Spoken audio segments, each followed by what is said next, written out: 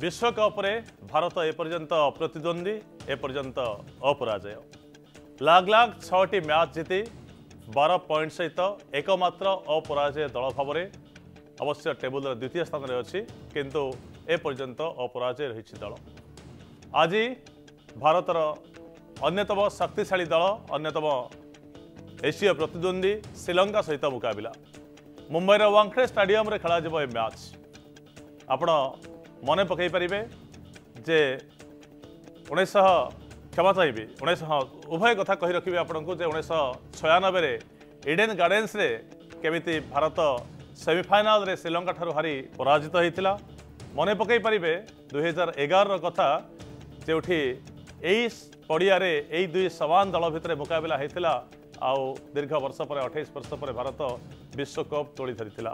ଅର୍ଥାତ୍ ଏହି ଦୁଇ ଦଳର ଶେଷ ବଲ୍ ଯାହା ଖେଳାଯାଇଥିଲା ୱାଙ୍ଗଖେଡ଼େରେ ଛକା ମାରି ଧୋନି କେମିତି ଭାରତକୁ ବିଶ୍ୱକପ୍ ଭେଟି ଦେଇଥିଲେ।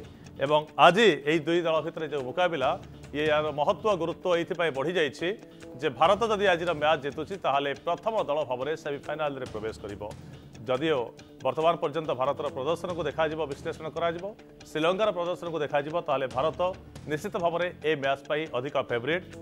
କାରଣ ଅଠସ୍ତରୀ ବା ଅଠାଅଶୀ ପ୍ରତିଶତ ବିଜୟ ଭାରତର ଏବଂ ମାତ୍ର ବାର ପ୍ରତିଶତ ବିଜୟ ଶ୍ରୀଲଙ୍କାର ବୋଲି ଅନୁମାନ ଲଗାଯାଉଛି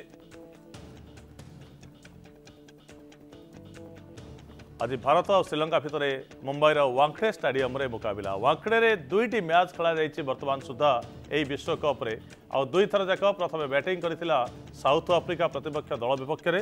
ଆଉ ଦୁଇଟି ବଡ଼ ସ୍କୋର ଠିଆ କରିଥିଲା। ଆପଣ ମନେ ଥିବ ଯେ ପାଖାପାଖି ଚାରିଶହ ରନ୍ ପ୍ରଥମେ ବ୍ୟାଟିଂ କରି ଦୁଇଟି ଯାକ ମ୍ୟାଚ୍ରେ ଠିଆ କରିଥିଲା ଦକ୍ଷିଣ ଆଫ୍ରିକା। ଗୋଟିଏ ମ୍ୟାଚ୍ରେ ତିନିଶହ ଅନେଶ୍ୱତ ଆଉ ଗୋଟିଏ ମ୍ୟାଚ୍ରେ ତିନିଶହ ବୟାଅଶୀ। ତେଣୁ ୱାଙ୍ଗଖେଡେ ବ୍ୟାଟ୍ସମ୍ୟାନଙ୍କ ପାଇଁ ଭୂସ୍ୱର୍ଗ ପାଲଟିଛି ଏହି ବିଶ୍ୱକପ୍ରେ ଏକଥା କୁହାଯାଇପାରେ। ଅନ୍ୟପଟେ ଭାରତୀୟ ଦଳ ଅପରିବର୍ତ୍ତିତ ଭାବରେ ପଡ଼ିଆକୁ ଓହ୍ଲାଇବ ନିଶ୍ଚିତ କାରଣ ହାର୍ଦ୍ଦିକ ପାଣ୍ଡ୍ୟା ସମ୍ପୂର୍ଣ୍ଣ ସୁସ୍ଥ ହୋଇନଥିବାରୁ ଏ ମ୍ୟାଚ୍କୁ ମଧ୍ୟ ଫେରିପାରିବେ ନାହିଁ।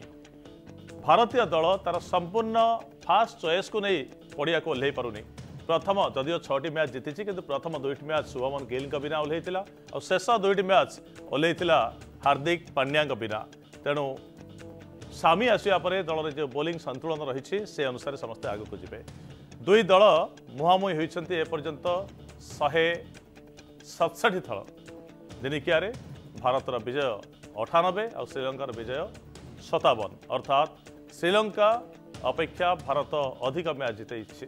କିନ୍ତୁ ଗୋଟିଏ ପର୍ଯ୍ୟାୟ ଥିଲା ଗୋଟିଏ ସମୟ ଥିଲା ଯେତେବେଳେ ଜୟସୂର୍ୟା ଆଟାବାଟୁ ରଣତୁଙ୍ଗା ଡି ସିଲ୍ଭା ପ୍ରମୁଖ ଖେଳାଳିମାନେ ରହୁଥିଲେ ମୁରଲୀଧରନ। ସେ ସମୟରେ ଭାରତ ଉପରେ ଭାରି ପଡ଼ୁଥିଲା ଅନେକ ସମୟରେ ଶ୍ରୀଲଙ୍କା। କିନ୍ତୁ ଏବେ ଶ୍ରୀଲଙ୍କା ଭାରତ ଅପେକ୍ଷା ଅପେକ୍ଷାକୃତ ଦୁର୍ବଳ ଦଳ ଭାବରେ ବିଚାର କରାଯାଉଛି। ଆଉ ଶ୍ରୀଲଙ୍କା ଯୋଗ୍ୟତା ପର୍ଯ୍ୟାୟ ଦେଇ ଆସିଛି ଏବଂ ସଂଘର୍ଷ କରୁଛି। ମାତ୍ର ଦୁଇଟି ବିଜୟ ସହିତ ଚାରି ପଏଣ୍ଟ ପାଇଛି ଆଉ ଗୋଟିଏ ପରାଜୟ ଦଳକୁ ଏଲିମିନେଟର କରିଦେଇପାରେ ବା ଆଗକୁ ଯିବାର ଯେଉଁ ଦୌଡ଼ ସେଥିରୁ ବାଦ ପଡ଼ିଯାଇପାରେ। ତେଣୁ ଉଭୟ ଦଳ ଆଜି ପ୍ରମୁଖ ମୁକାବିଲାରେ ଏଇଥିପାଇଁ ଅବତୀର୍ଣ୍ଣ ହେଉଛନ୍ତି ଯେ ଭାରତ ଯଦି ଜିତୁଛି ସେମିଫାଇନାଲକୁ ଯାଉଛି ଆଉ ଶ୍ରୀଲଙ୍କା ଯଦି ହାରୁଛି ତାହେଲେ ସେମିଫାଇନାଲ ଦୌଡ଼ରୁ ବାଦ ପଡ଼ୁଛି।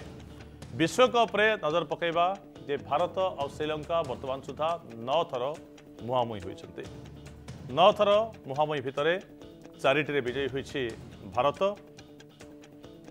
ଏବଂ ଚାରିଟିରେ ବିଜୟୀ ହୋଇଛି ଶ୍ରୀଲଙ୍କା। ଅର୍ଥାତ୍ ଫିଫ୍ଟି ଫିଫ୍ଟି ସମାନ ସ୍ଥିତିରେ ଅଛନ୍ତି ବିଶ୍ୱକପ୍ରେ ମୁହାଁମୁହିଁ ହୋଇଥିବା ଉଭୟ ଦଳ।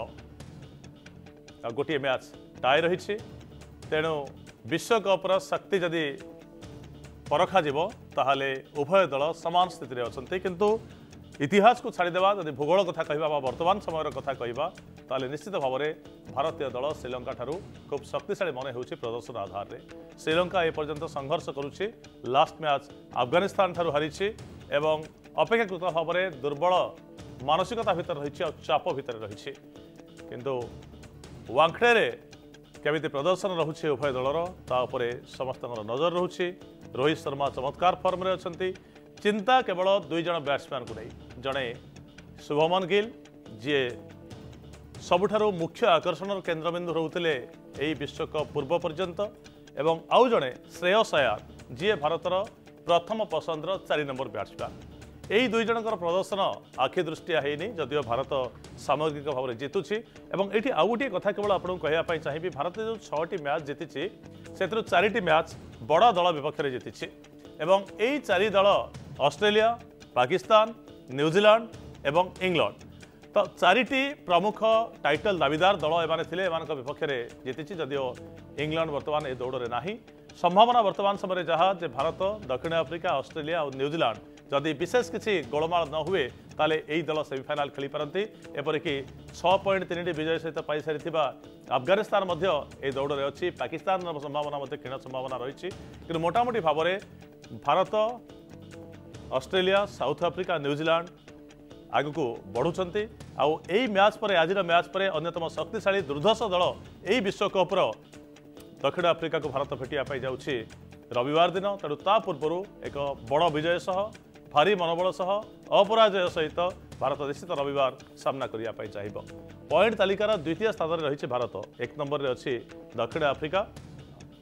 ଆଜିର ମ୍ୟାଚ୍ ଯଦି ଜିତୁଛି ତାହେଲେ ଆମେ ଯେମିତି କହୁଥିଲୁ ଆପଣଙ୍କୁ ଯେ ସେମିଫାଇନାଲ ପକ୍କା କରିବ ଭାରତୀୟ ଦଳ। Australia Afghanistan Pakistan Bangladesh New Zealand ଆଉ ଇଂଲଣ୍ଡକୁ ଲାଗ ଲାଗ ହରାଇ ସାରିଛି ଦଳ। ଅନ୍ୟତମ ଦୁଇ ଏସୀୟ ପ୍ରତିଦ୍ୱନ୍ଦ୍ୱୀ ପାକିସ୍ତାନ ଏବଂ ବାଂଲାଦେଶକୁ ମଧ୍ୟ ହରାଇ ସାରିଛି।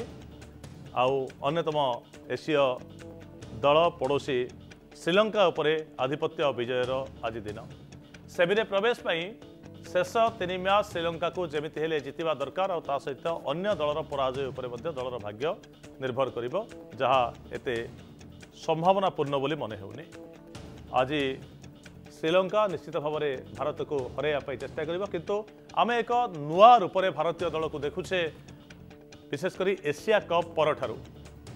ଏସିଆ କପ୍ ପରଠାରୁ ଲଗାତାର ଭାବରେ ଭାରତ ଜିତି ଆସୁଛି ଭଲ ପ୍ରଦର୍ଶନ କରି ଆସୁଛି ଆଉ ଅପରାଜୟ ରହି ଛଅ ଛଅଟି ମ୍ୟାଚ୍ ଜିତିବା ଭାରତୀୟ ଶକ୍ତି ସାମର୍ଥ୍ୟକୁ କହୁଛି ଆଉ ସାମି ଆସିଲା ପରେ ଯେଉଁ ଶାଣିତ ଆକ୍ରମଣ ହୋଇଛି ବୋଲିଂର ବିଶେଷ କରି ମୁଁ ଏ କଥା କହିବା ପାଇଁ ଚାହିଁବି ଯେ ଅଷ୍ଟ୍ରେଲିଆ ଓ ପାକିସ୍ତାନ ପରି ଦଳକୁ ଦୁଇଶହ ରନ୍ ଭିତରେ ସୀମିତ ରଖିବା ଇଂଲଣ୍ଡ ପରି ଦଳକୁ ଦେଢ଼ଶହ ରନ୍ ଭିତରେ ସୀମିତ ରଖିବା ଆଉ ଭାରତୀୟ ବୋଲରମାନେ ଚମତ୍କାର ବିଜୟ ଭେଟିଦେବା ଇଏ ଭାରତୀୟ କ୍ରିକେଟକୁ ନୂଆ ଶିକାରକୁ ନୂଆ ସୋପାନକୁ ନେଇଯାଇଛି।